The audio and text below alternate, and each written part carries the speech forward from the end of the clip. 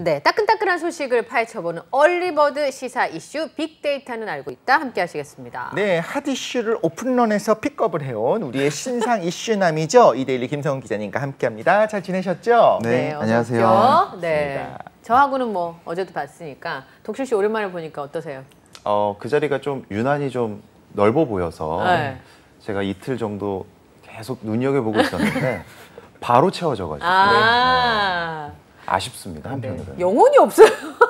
아, 이거 영혼을 담아서 네. 말씀드리면 또 서운하실 수도 아, 있습니다. 아, 네. 솔직한 이야기 들으면 좀 마상을 좀 입는 아, 스타일이라서 네. 이따가 네. 한번 자세히 얘기 나눠보면 좋을 것 같습니다. 아, 알겠습니다. 네.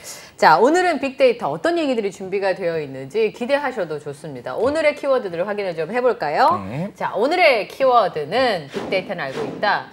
하, 오늘 만만치 오, 않군요. 네. 현대기아차 압수수색 야근송 65만 명. 네. 네. 첫 번째 키워드. 현대기아차 압수수색 첫 번째 어, 키워드를 네. 준비했는데 어, 어제였죠. 독일 프랑크푸르트 검찰이 현대기아차 독일 룩셈부르크 현지 사무실 8곳을 압수수색했다는 소식을 가지고 왔습니다.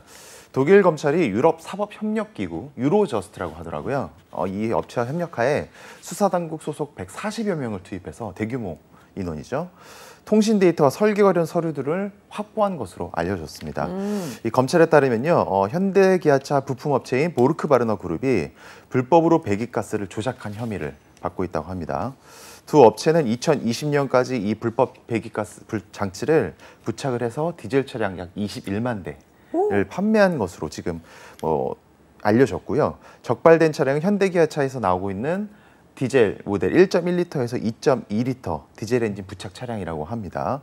이 장치가 부착된 차량이 판매된 시점이 2020년까지라고 하니까요. 네. 상당히 최근까지죠. 그러네요. 네. 뭐 구체적인 내용은 나와봐야 알겠지만 현재 이, 이런 압수수색 들어갔다는 것 자체가 상당히 좀 유의미한 소식이고 현대기아차 쪽에서 또 엄청 난감해하고 있는 분위기는 오. 또 아실 수 있을 겁니다. 예. 유럽 시장에서 현재 되게 선전하고 있는데 아, 현대 기아차가. 네, 네. 뭐 뒤에 부분에서 자세히 말씀드리겠지만 야, 좀 악재가 아니냐 이런 그렇죠. 얘기가 나오고 있고요. 다만 해당 조사가 과거 폭스바겐에서 시작돼서 전방위로 시작이 됐던 디젤 게이트가 네. 있거든요. 디젤 게이트에서 좀 파생된 조사의 일환이 아니냐 현재 지금 뭐 아. 이런 이야기도 나오고 있습니다. 아, 그래요? 네, 네. 폭스바겐이 그때 디젤 게이트면 대체 뭘 잘못한 거죠? 네, 그 2015년이었었죠. 폭스바겐을 시작으로 해서 그 이후에 이제 많은 업체들이 같이 적발이 됐는데요. 디젤 게이트라고 하는 건 디젤 자동차 같은 경우에 일단 효율을 높이게 되면 기본적으로 태생적으로 생리적으로 질소산화물이 많이 나올 수밖에 없어요. 질소산화물. 네, 근데 그 질소산화물이 좋지 않다 보니까 클린 디젤을 표방하면서 어떻게 이야기를 했냐면 우리는 깨끗한데도 효율도 좋다라고 이제 광고를 했었던 거죠. 네. 그런데 실제로는 어떤 조작이 들어갔냐면 어, 검사 상황 있잖아요. 자동차의 배기가스가 어떻게 나오는지 검사하는 그 세트 상황이 되면 그때 그런 뭐 그 질소산화물을 줄일 수 있는 그 EGR 같은 거를 팍팍 가동을 해서 네. 출력은 다소 줄어들지만 실제로 친환경적인 거를 보여주도록 하고 네. 그런데 그 검사소를 나온 다음에 일상 주행 상황이 되면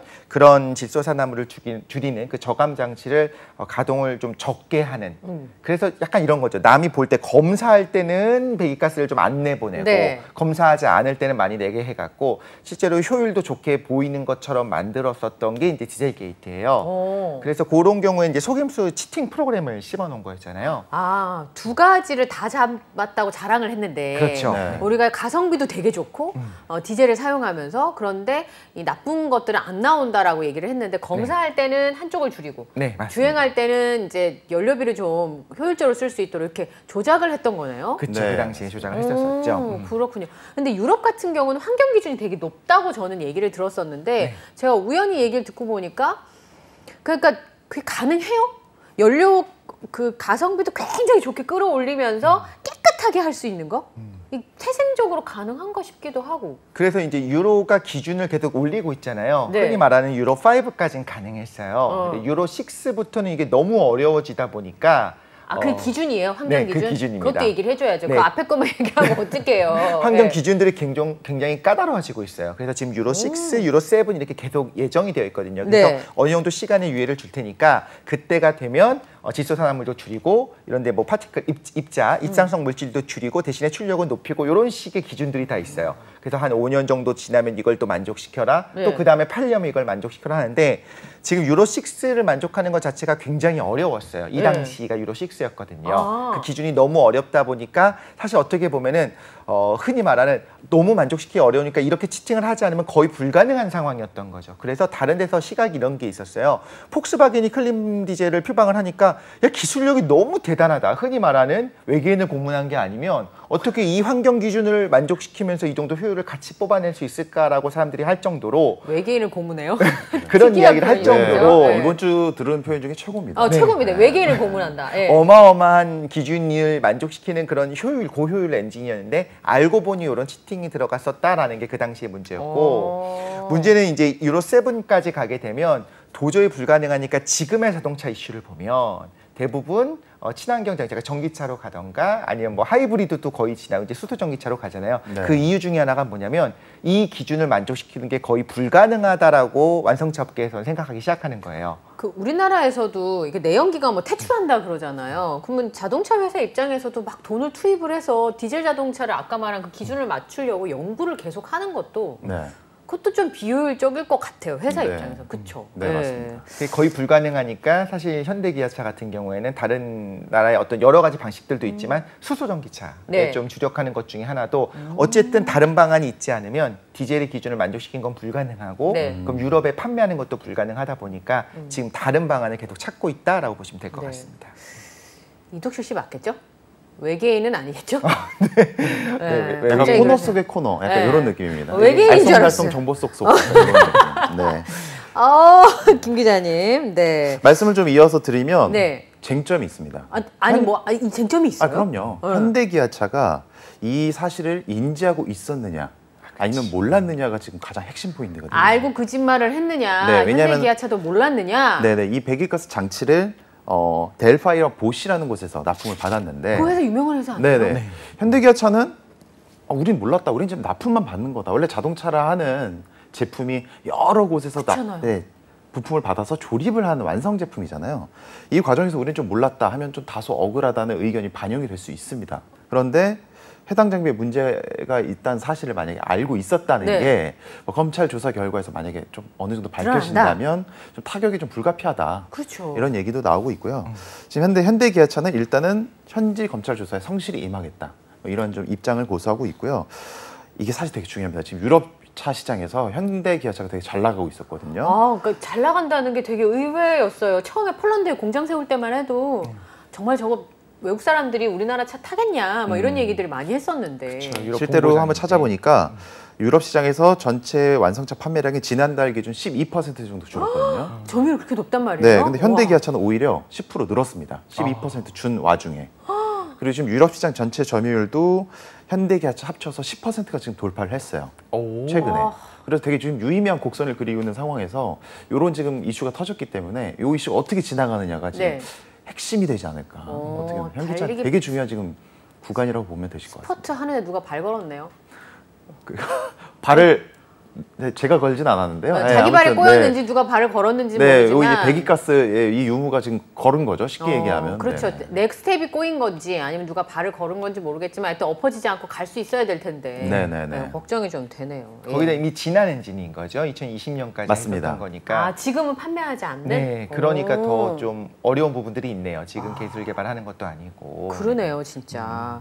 기준이 높은 건 좋은데, 그렇죠? 그렇죠. 어, 결국엔 가야 될 길인 건 확실한데, 네, 지금 문제가 좀 있고, 과거에 좀 디젤 게이트랑 좀 다른 상황일 수도 있기 때문에 좀 아. 조사 결과를 좀 관심 있게 지켜볼 필요가 있는 것 우리나라에서. 폭스바겐 뭐 엄청나게 비판했었는데 그게 같은 상황일 수도 있고 좀 억울한 상황일 수도 있다. 네, 네. 예. 그렇죠. 좀 다른 상황일 수도 있다. 네. 자, 두 번째는 노래를 해주시나요, 야근송? 아, 제가 여기서 노래를 한다면 네. 너무 깜짝 놀라실 수도 있는데 왜요? 어떤 저는 쪽으로? 상상에 맡기도록 하겠습니다. 아, 처음으로 진심 웃음에 아, 네. 지금 어, 네, 진짜 네. 이렇게 됐어요. 눈의 웃음을 처음 봤습니다. 아이고 어. 이제 뭐 우리나라 국민들이 네. 워낙 또 오디션 프로그램도 많았고 네. 그 노래 잘하는 노래방이 워낙 또. 현실 예, 네. 잘 구비가 되어 있기 때문에 네. 뭐 노래 워낙 또 좋아하지 않습니까? 근데 네. 이번에 소개시켜드릴 이 송은 그렇게 별로 해피한 송은 아닙니다. 그 송이 아니에요? 예, 네. 야근이 송. 붙으면 네. 일단 어, 그쵸. 기분이 약간 좀 울적해지지 않습니까? 고용노동부가 지난 28일 공식 블로그와 트위터에 칼퇴를 잊은 사람들에게 야근송 이라는 제목의 글을 올렸다가 반발 여론이 일자 글을 좀 내렸다 이런 네. 내용을 좀 가지고 왔는데 네. 이 블로그 내용을 좀 읽어보니까 어차피 해야 할 야근이라면 응. 미뤄봤자 시간만 늦출 뿐 에너지 부스터 같은 야근송 들으면서 우리 모두 야근 열심히 하자고요 뭐 이런 내용이 지금 담겨 있었는데 그래서 무슨 노래를 들어야 되냐 네. 이런 생각이 들어서 한번 노래 리스트를 한번 보니까 네. 헤븐리 시티의 밤샘 작업 장미 여관에 퇴근하겠습니다. 네. 아, 퇴근하지 말라면서 왜 퇴근하겠습니다. 어. 하라고 하는지 모르겠고 이희경의 칼퇴근, 블랙핑크의 마지막처럼 네. 이런 노래들이 리스트에 있었다고 합니다. 어. 온라인 커뮤니티를 통해서 조금 이 내용이 확산이 되면서 반발 네. 여론이 아주 많았는데 법정 근로 시간에 힘써야 되는 주무부처가 음. 야근송 왜? 야근을 독려하는 야근송을 하는 게 맞냐 이런 얘기가 있었는데요. 해당 글에서는 다음 달 콘텐- 콘텐츠로 또 뭐를 제시를 했냐 하면 뭔데요? 휴가 안 가도 휴가지처럼 느껴지는 기억 조작송을 또 예고를 했었습니다. 네. 누리꾼들 사이에서는 야근에 휴가도 가지 말라는 얘기냐 네. 휴가 못 가는 직장이 약 올리는 거냐 뭐 이런 그렇죠. 얘기가 있는데 네. 제가 요거를 쭉 읽어보면서 한 가지 영화 대사가 생각이 났어요. 뭔데요?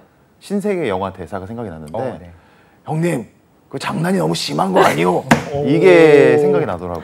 장난이 너무 심했습니다. 이, 걸 기대했군요. 아. 네, 노래 말고 아, 노래 네. 말고. 성대모사로. 네. 제가 노래의 아쉬움을 성대모사로 좀 네. 달래봤습니다. 네. 어제부터 알겠- 준비를 했어요. 아. 근데 이제 이정재님의 목소리 네. 계속 들으면서 저희 어떤 성대와. 맞춰봤습니다. 예. 장난이 너무 심하잖아요. 어. 네. 그러게요. 이게 사실은 이게 그 회사를 뭐 가족처럼 그래서 이제 mz 세대한테 그런 얘기하면 회사는 회사고 가족은 가족이지 왜 그렇죠. 회사 어, 구성원들을 가족처럼 어떻게 하냐고 네. 뭐 이렇게 얘기를 하는데 원래 회사 소개에서 가족 같은 회사라는 얘기가 들어가면 절대 거기는 위험해요. 기피한다라는 얘기도 하더라고요. 위험하다는 얘기를 많이들 하잖아요. 약간 지금과는 어울리지 않는 그런 기획이 아니었나 이런 생각이 좀그 드는데요. 말씀하신 부분 좀 이어서 좀 재밌는 얘기 해드리자면 네. 요즘 채용 공고는 아, 또 있어요, MZ 세대를 위한 거 채용? 공고는 뭐 네. 가족 같은 회사 이런 게 거부 반응이 워낙 크니까 네. 우리는 남이다 라는 문구를 넣던가 말 안 걸음. 뭐 말안 약간 이-? 예, 이런 것들을 신박하게 넣는 조항이 있어요. 아. 그래서 제가 채용 공고를 보다가 어 이거 되게 재밌다. 진짜 말안 걸어줬으면 좋겠다. 음. 네. 라는 생각을 했었던 식사는 따로 뭐 이렇게 써 있고. 어. 어. 왜 옷가게 갈 때도 자꾸 직원분이 와서 자꾸 물어보지 않고 아, 그냥 요즘은. 이렇게 하는 그런 맞아요. 것도 그게 네. 혜택이 되잖아요. 네, 네, 네. 그러니까 그런 것처럼 직장도 좀 서로의 독립성을 존중해주는 그런 모습이었으면 좋겠습니다. 근데 이런 얘기를 들으니까 음. 네. 저는 약간 옛날 사람이라는 생각이 나 꼰대인가 뭐 이런 생각이 좀 들기도 하네요. 어, 네. 그렇죠. 사실 이게 요즘 인기 있는 어떤 뭐 선곡 리스트 같은 걸 뽑는 게 하나의 방법이기도 하잖아요. 그래서 제가 볼 때는 약간은 좀 편을 들어주는 건 아니지만 네. 고용노동부가 했기 때문에 아이러니한 거지 이런 기획 자체는 좋다는 생각이 들거든요. 네. 문구도 다 맞아요. 만약에 어쨌든 오늘 야근을 할 수밖에 없는 상황이 됐다면 기왕이면 그러니까 즐겁게 하자 이런 취지인 건데 네. 하필이면 고용노동부가 해서 아이고 왜 그랬을까 음. 아쉬움이 좀 남는 건데 보다 보니까 어 야근을 해도 되는 거 아닌가라는 생각을 저도 하는 거 보니까 나도 내가 꼰대가 아닌가라는 생각이 순간 시작했어요. 스멜이 슬슬 나오기 어, 시작합니다. 그죠. 조심해야 돼요, 네, 이 이런 두 분을. 위해서 제가 오늘 또 특별히 네. 한 가지 또 조사를 준비를 해왔습니다. 어, 테스트. 주머니 뭐 많이 나오네요 오늘. 과연? 나는 꼰대이냐, mz 세대이냐, 아, 그쪽 약간 이런 두려운데? 부분 신세대이냐 네. 한번 알아보는 열 가지 문항을 준비를 했는데 이거 보시고 마음속으로 체크를 하신 다음에 네. 제가 나중에 답을 드리겠습니다. 네. 확실하게 답을 드리도록 하겠습니다. 네. 네. 일단 첫 번째로 아, 안 하고 네, 싶다. 한번 화면을 보시죠. 첫 네, 테스트 번째로는요. OX 믿거나 말거나 첫 번째 확실한 퇴근보다 높은 높은, 연봉이 연봉이, 좋다. 좋다.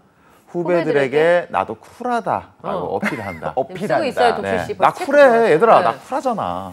네. 3번 나이가 들수록 어쨌든 아는 게 많고 지혜가 쌓이는 건 맞다고 생각한다. 네. 솔직하게 말해봐. 라고 하지만 막상 상대가 솔직하게 말하면 기분이 상한다. 당연한 거 아니에요? 다섯 네. 번째로 회식이 있는 경우에는 야 이왕이면 참여해. 음. 라고 후배에게 이야기한다. 요 네. 다섯 개 문항이 있었습니다. 아, 이미 마음속으로 쭉 보시고 네. 네. 뭐 약간 좀 뭐 예. 뭐가 얘기하고 오고 싶으신? 또 버- 번호가 있으신가요? 문항이 어, 있으신가요? 일단 저는 X보단 동그라미가 많은 것 네. 같긴 한데 마음속으로 일단 하시고요. 저한테 네. 이따가 개수만 말씀해 주시면 됩니다. 네, 속상하네요. 그 다음에 네. 자, 다음에 꼰대 테스트 여섯 번째 뭐예요? 오, 휴가는 가더라도 카톡 답은 해야 한다. 오. 일을 열심히 하다 하면 야근은 당연히 할 수 있다. 뭐 7번 같은 경우에 사실은 좀 의견이 갈릴 수도 있는 네. 부분인 것 같고요. 회사 생활은 자유보다 책임감이 우선이다. 이 부분도 사실은 조금 여지가 있습니다. 네. 후배 동료나 옷차림이 너무 개방적이거나 튀면 마음에 안 든다. 네. 저는 왜 봐야 되나 싶은데 아무튼 네. 나보다 늦게 출근하는 후배가 거슬린다. 네, 아 이거 아주 문화 하나 하나마다 아주 네. 네. 6번 같은 경우는 휴가는 가더라도 카톡 답은 해야 되는데 저는 저게 100% 바- 찬성을 하지 않거든요. 근데 해야 되잖아요. 휴가를 가면 그냥 네. 안 찾고 네. 안 묻는 게. 요즘 말로 국룰이라고 음. 생각을 합니다. 근데, 근데- 이제 야, 뭐 선배가 물어봤으면 빨리빨리 답을 대답해야지. 해야지. 뭐 이런 거 평일에도 마찬가지예요. 뭐 저녁 약속이 있어서 뭐 간 후배한테 뭘 물어볼 일이 있어서 물어봤는데 뭐 대답이 없다고 그래서 제가 화를 낼 필요는 없다고 보거든요. 음. 저녁 장소에서 워낙 또 정신이 없다 보면 답을 못 하는 경우도 아, 있고 그땐 근무 시간이 아니잖아요. 충분히 상대방의 입장에서 네. 생각을 해줘야 된다. 근데 이거는 뭐 6번 문항에 관련된 거고 다 이제 고르셨죠? 몇 네, 개인지? 맞습니다. 네. 네. 그러면은 이제 차례로 말씀을 해주시죠. 저는 네. 아, 앞에 다시 보면 한 네 개? 네 개. 네, 네 개. 동그라미 4개. 동그라미 네. 네 개. 저는 다섯 5대 5입니다. 아 5대 5요. 그러니까 알겠습니다. 나이 차이는 좀 나지만. 네. 알겠습니다. 네. 0개에서 2개. 네. 저는 참고로 2개 나왔습니다. 오, 네. 두 개예요? 저는 2개. 두 개는 진정한 어른. 오, 진정한 진정한 어른. 어른. 네. 네. 세 개에서 다섯 개. 이제 두 분이 여기 아, 들어가 네. 계신데 세 개에서 다섯 개는 잠재적 꼰대. 네, 포텐셜이 있다. 언제 폭발할 수 네, 있다. 언제 네. 언제 꼰대가 될지 몰라. 어. 네, 다섯 개 위험합니다. 위태위태합니다. 저 얘기 들으니까 왜 이렇게 손이 모아지는 네, 거예요? 그러니까 조심해야. 조심하게 51%와 된대. 49%의 경계에 있는 거예요. 네. 위험하네. 여섯 개부터 아홉 개는 주의보, 주의보 발령, 꼰대 주의보. 근처 가면 안 돼. 네. 10개만 하나 딱 네, 남았네요. 사실상 좀 위험하죠. 어, 그렇죠. 열 개가 혹시나 있을까 생각이 되긴 하는데 네. 열 개는 완전 꼰대, 어, 완꼰. 완권. 네. 근데 열개 있으신 분들도 충분히 있을 수 있어요. 것 같다는 생각이 음, 들었습니다. 있을 수 있어요. 네. 네. 여기서 좀 이렇게 얘기하고 싶은 건 없어요? 아니, 하나하나 그냥 수 있는 거. 다 항변하고 싶죠. 뭐 네, 예를 들면 가장 좀 항변하고 싶다 이런 항목이 있으실까요? 4번 같은 경우에 제가 좀 아슬아슬하게 X를 해갖고 건너갈 수 있었어요. 솔직하게 해봐라 하면은 네. 어, 하지만 살 때 솔직하면 기분이 상한다. 저 그럴까봐 네. 솔직하게 하라는 말을 안 합니다. 어, 어. 저랑 비슷해요. 네. 근데 저는 솔직하게 말해봐 라고 해서 상대가 솔직하게 말하면 기분은 상해요. 음. 그런데 표현하지 않는다. 어, 왜냐하면 저는 음. 그뭐 선배님들이 조언해 줄 때도 어릴 때도 신입사원일 때도 솔직하게 말해서 너 이거 잘못됐어 하면 기분 나빴어요. 어. 기분 나쁜데 네. 뭐 기분이 나쁠 수도 있는 거 아니겠어요? 어. 네, 그러니까 뭐. 근데 저는 이제 또 솔직하게 말하는 게 기분 좋게 얘기해 주실 때도 있어요. 정말로 어, 우리 느낌으로 다 알잖아요. 성장을 바라가지고 하는 음. 어떤 그런 조언들은 오히려 감사하고 음. 네. 기분이 나쁘다면 이런 얘기를 하는 선배에 대한 기분 나쁨이 아니라 아 이런 걸 잘 못했던 내 자신에 대한 아쉬움이 있을 때도 있고 그랬던 것 같은데 만약 솔직하게 해봐라고 했는데 뭐 뚱뚱해 뭐 피부가 왜 이렇게 상했니 어제 안 좋은 일이 있었니 이런 얘기를 들으면 좀 마음이 아플 수도 있겠죠. 음. 근데 그럴까봐 아예 이제 솔직하게 말하는 얘기를 안 합니다. 아 저도 주, 유사하긴 한데 하여튼 기분은 나쁘지만 표현하지 않는다. 저는. 아니, 그 솔직하게 말해봐라고 하는 저 일곱 글자를 어떻게 해석하느냐의 여지가 있는 것 같아요. 아? 예를 들어서 업무에 대한 다양한 의견을 취합을 해야 된다. 뭐 이런 네네. 과정이 있을 때 어, 나는 이런 생각을 가지고 있는데 뭐 위에 분들도 이런 생각 가지고 계시더라고. 너는 어떻게 생각해? 솔직하게 얘기해봐. 아 저는 뭐 위에 분들이 얘기한 그 제시한 의견이 저는 아니라고 봅니다. 어, 네 의견도 일리가 있다. 이거는 아름답습니다. 음. 근데 그렇죠. 나 오늘 얼굴 어떤 것 같아? 솔직하게 말해봐. 아, 정말 최악이에요. 이러면 네. 소울리스 줄 알아. 그거는 뭐 싸우자는 거죠. 어, 네. 회폭이라도. 네. 죄송합니다. 정말 최악이에요. 눈 뜨고 못 보겠습니다. 뭐 이럴 수도 있는 거잖아요. 아 솔직하게 말하라면서요. 그러니까 이제 솔직하게 말해봐의 어떤 그거를 받쳐주는 목적이 무엇이냐가 굉장히 중요한 거죠. 그렇죠, 그렇죠. 오늘 우리 다수결로 뭘 정할 건데 너의 의견은 뭐야? 솔직하게 말해봐. 네. 위에 분들이 이거 골랐다고 너 이거 안 골라도 돼. 이런 거는 얼마나 아름답습니까? 아 맞아요, 그런 것 네, 같아요. 네. 네, 네, 네. 사본에 아주 참 논란의 여지가 있는 아, 문항이었네요. 논란의 여지가 있네. 맞습니다. 네. 자, 우리 키워드 다 해요. 네. 테스트 만 하고 끝날 수 없잖아요. 네. 음. 자, 마지막 키워드는 60 5만 명이에요? 네. 네, 네. 65만 명. 국내 국내 기업 채용 인원 관련된 뉴스 아, 가지고 그래요? 왔는데요. 좋은 어. 뉴스네. 늘어난 코로나19 거겠죠. 상황이 이제 호전이 됐잖아요. 네. 엔데믹 경기 재개가 지금 이루어지고 있다고 하는데 네. 국내 기업의 채용 계획 인원이 이제 큰 폭으로 증가할 것이라는 소식을 가지고 아, 많이 왔습니다. 뽑는다. 네. 다행입니다. 네. 고용노동부가 29일 발표한 올해 상반기 직종별 사업체 노동력 조사 이 결과를 한번 보니까 국내 종사자 1인 이상 사업체의 올해 2, 3분기 채용 계획이 65만 명으로 음. 집계가 됐습니다. 작년 동기보다 21만 9천 명이나 늘어났어요. 그러니까 일자리가 21만 9천 개나 늘어났다 이렇게 음. 보시면 될 것 같고 왜 이렇게 늘었을까 하면 앞서 말씀드린 거랑 이유가 있습니다. 코로나19 사태로 채용 계획 인원을 그동안 기업들이 계속 줄여왔거든요. 인건비에 대한 부담도 있었고 음. 네. 실제 매출도 줄다 보니까 그렇죠. 근데 이제 경기 재개가 되다 보면은 아 어느 정도 우리도 좀 인원을 더 뽑아서 뭐 우- 운영을 해야겠다 이런 기저 효과가 조금 작용, 작용한 결과로 풀이가 되는 것 같습니다. 음. 네. 업종별로 좀 어떻게 돼 있나 한번 살펴보니까 제조업이 17만 4천 명으로 가장 많았습니다. 아, 제일 많아요? 제조업. 다음이 숙박 음식 업종. 음. 네. 요게 7만 9천 명으로 많았고 다음이 도소매, 보건 사회복지 서비스 이렇게 지금 순으로 나왔습니다. 네.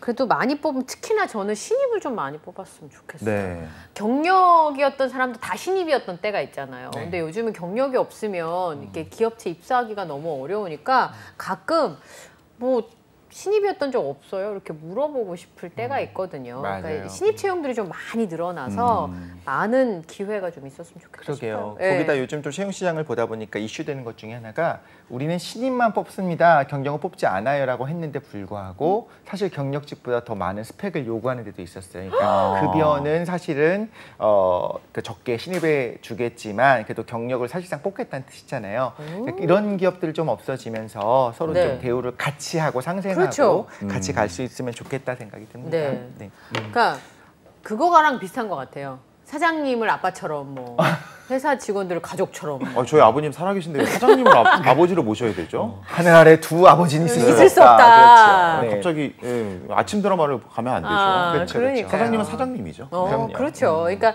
그런 것처럼 우리 신입 그 이렇게 사원들이 많이 좀 들어갈 수 있는 네. 그런 기회들이 좀 있었으면 좋겠다 이런 생각이 좀 듭니다. 네, 예. 이야기를 들어보니까 기존에 좀 줄였었던 인력을 다시 회복하는 게 되는 거잖아요. 네, 맞습니다. 좀 기다리시던 분들한테 정말 가뭄의 단비 같은 좋은 소식이 아닌가 네. 싶습니다. 근데 연봉은 어떻게 돼요? 연봉들도 좀 많이 올려주나요? 이렇게 채용이 좀 네. 많아지면?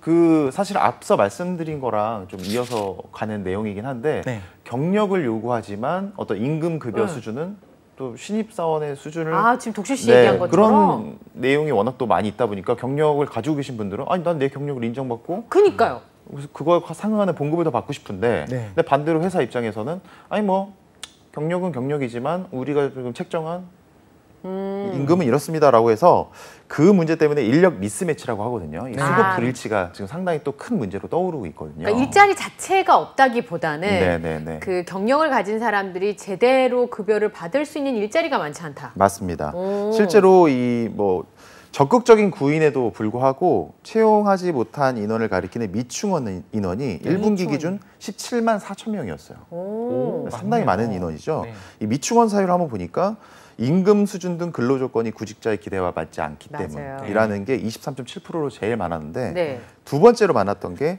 사업체에서 요구하는 경력을 갖춘 지원자가 없기 때문. 그러니까 두 가지 상충하는 문항이 일 1등과 2등을 차지했어요. 맞네요. 그러니까 정말 미스매치가 되는 거죠. 네. 업주 입장에서는 아 우리 수준에 맞는 지원자가 없는데라고 음. 하는 반면에 네. 또 지원자들 입장에서는 아 사업체에서 요구하는 이렇게 많은 걸 요구해놓고서 네. 어떻게 하라는 거야? 연봉은 너무 적고. 네, 네. 어. 네. 제가 전에 독실 씨한테도 그런 얘기 했었는데 저도 이제 행사를 가잖아요. 행사 진행을 가면 너무 재밌는 게 출연료를 많이 주는 데는 대우도 좋아요. 음. 대기실도 따로 있고 옷을 갈아입을 때도 따로 있고 뭐 하다못해 커피라도 한 잔, 뭐 네. 심지어는 케이터링 있는 데도 있어요. 어, 심지어. 예, 네. 그런데 부탁받아서 말도 안 되는 출연료로 그냥 갔다 오는 셈 치고 가는 데는 커피 한 잔, 믹스 커피 한 잔을 안 주더라고요. 어. 그러니까 이게 사람들이 생각하기에 생각보다 출연료를 적게 주니까 네. 다른 것들을 다 대우해 줄 것 같지만 사실 그런 배려조차 없는 것들이 굉장히 어. 많은 거죠. 그러니까 그 취업하는 것도 그거랑 좀 비슷한 구석이 있는 것 같아요. 네. 그 우리는 연봉은 적지만 네. 다른 뭐 복리 후생이 좋다라고 이야기하는 건 사실 불가능하다, 쉽지 않다는 그러니까요. 거죠. 예, 그리고 이제